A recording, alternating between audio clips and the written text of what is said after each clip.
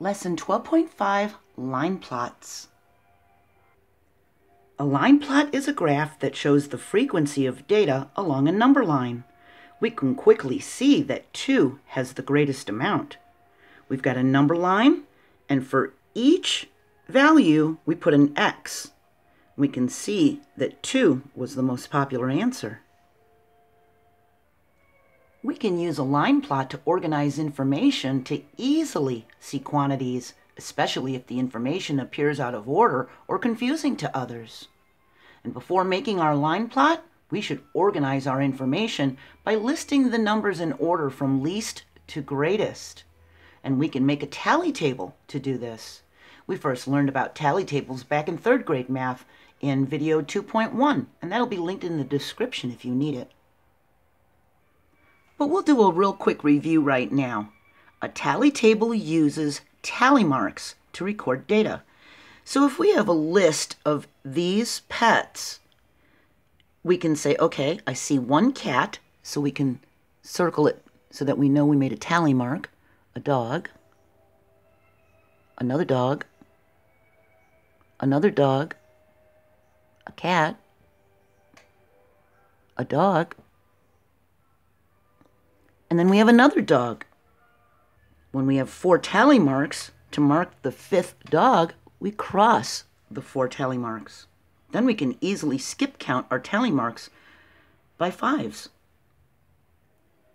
Tala has a bag of ribbon pieces that she has saved.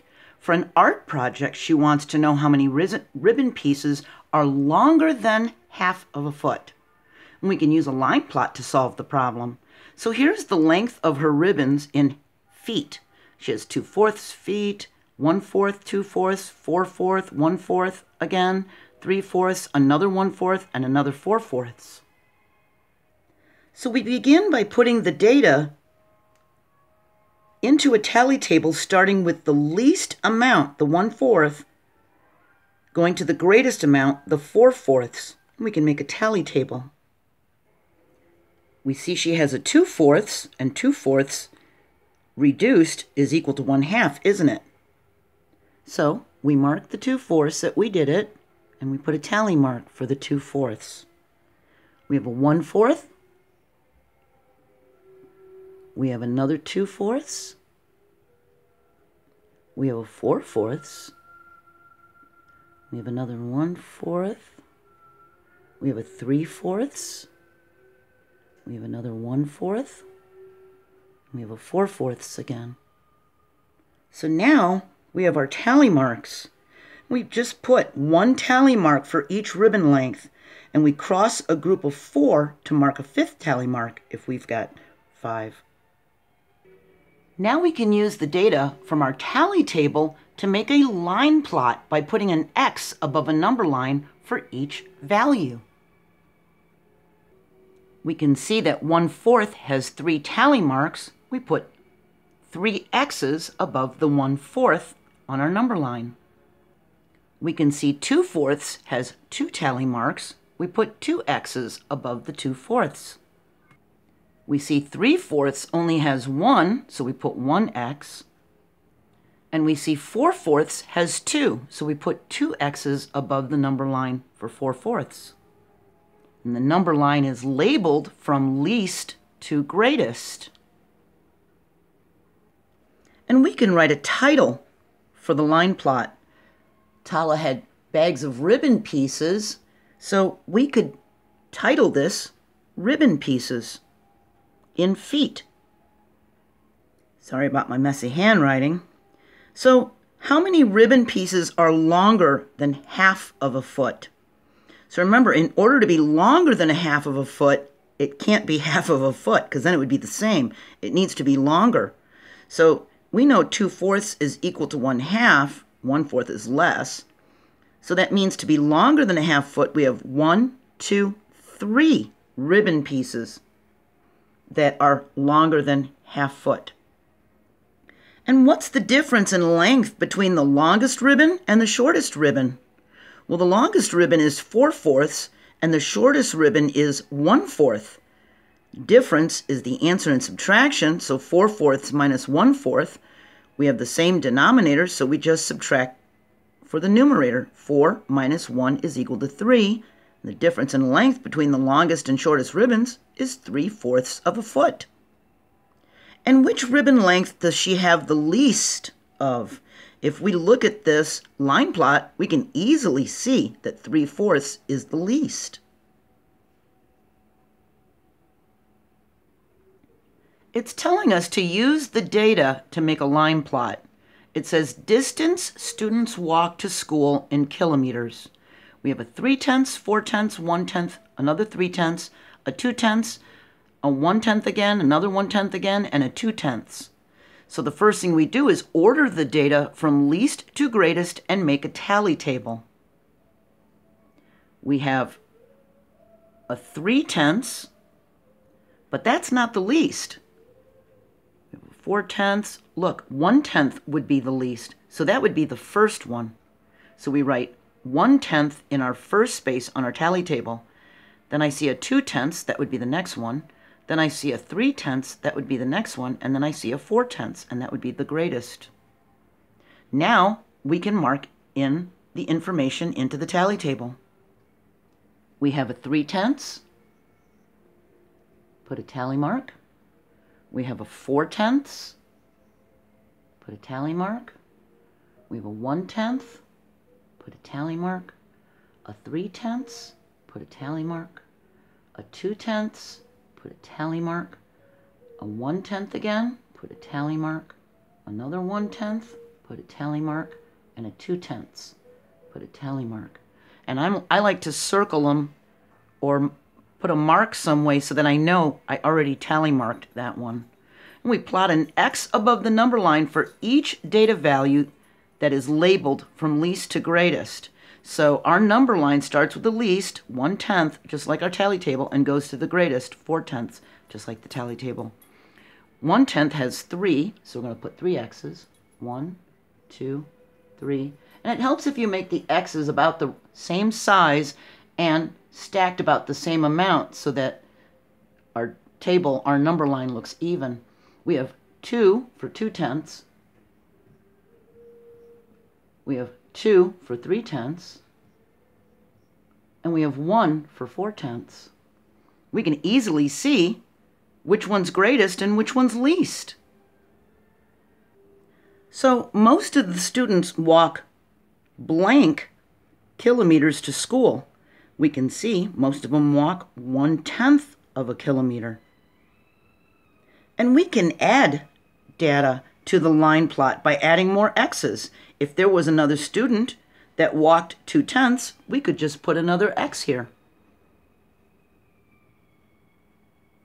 We need to write a title for our line plot.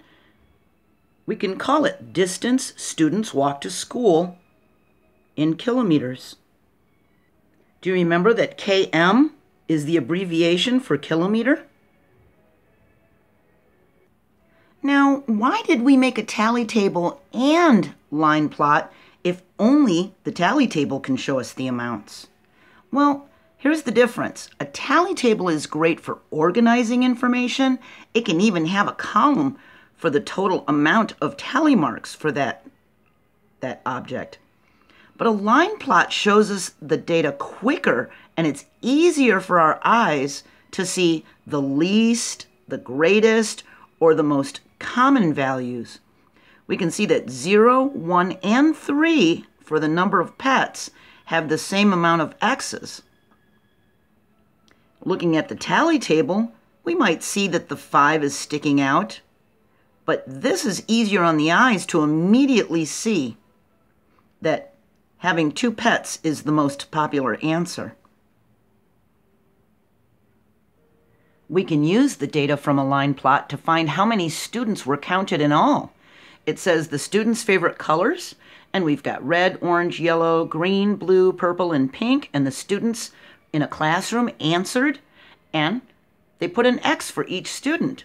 If we want to know how many students were in the class and how many answered the questionnaire, all we have to do is count up the X's. And we can see that the blue is the most favorite color and orange is the least favorite color. We have 1, 2, 3, 4, 5, 6, 7, 8, 9, 10, 11, 12, 13, 14, 15, 16, 17, 18, 19, 20, and four more is 24. So that means 24 students were asked their favorite color. And how many more students liked blue than orange? Well, blue is 1, 2, 3, 4, 5, 6, 7, and orange is only 1. How many more students liked blue than orange? The difference between 7 and 1 is 6. The difference between the most amount and the least amount is 6. And how many more students liked purple or pink than blue? Well, it says purple or pink, and we have five purple and four pink, so that's nine altogether. And blue has seven, so how many more, like purple or pink, the 9 than the blue 7? That would be 2, wouldn't it? And we can easily see that blue is the most popular favorite color because it's got the most X's. We can easily see that orange is the least. We can look at a line plot to determine which value is the least, greatest, or middle value. Here's students' pets one person said they have a fish, another student said they have a bird, and look, one, two, three, four, five students said they have a dog. Three students said they have a cat, and one said they have a turtle. So we can see the least. That would be a fish, bird, or turtle. We can see dogs are the greatest. We can see cats are the middle amount, aren't they? That's the middle value. It's in between 1 and 5, so 3 is the middle value. And what is the difference between the greatest and least values? Where the least values are a 1 and the greatest is a 5, difference is the answer for subtraction, so the difference would be 5 minus 1. That would be 4. So even though there are more than one saying 1, we have fish, bird, and turtle, they're all still 1. That's still the least values we just say 5 minus 1, okay? The amount of data values should be the amount of tally marks, which should be the amount of x's on our line plot.